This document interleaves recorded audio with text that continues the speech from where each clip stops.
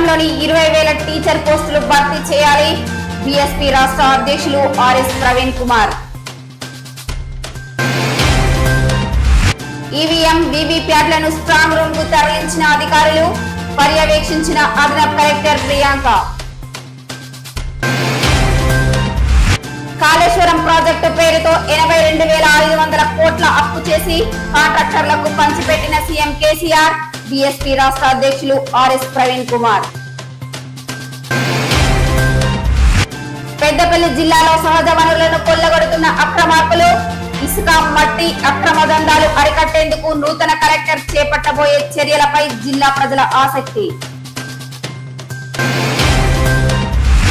ప్రభుత్వ పాఠశాలల్లో పనిచేస్తున్న స్వీపర్లను పర్మినెంట్ చేయాలి BSP state chief RS Praveen Kumar.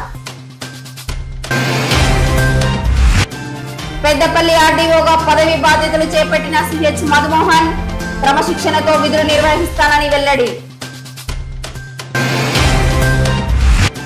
Teachers కాలనీలో lions club of Peddapalli elite ఆధ్వర్యంలో షుగర్ నిర్ధారణ పరీక్షలు.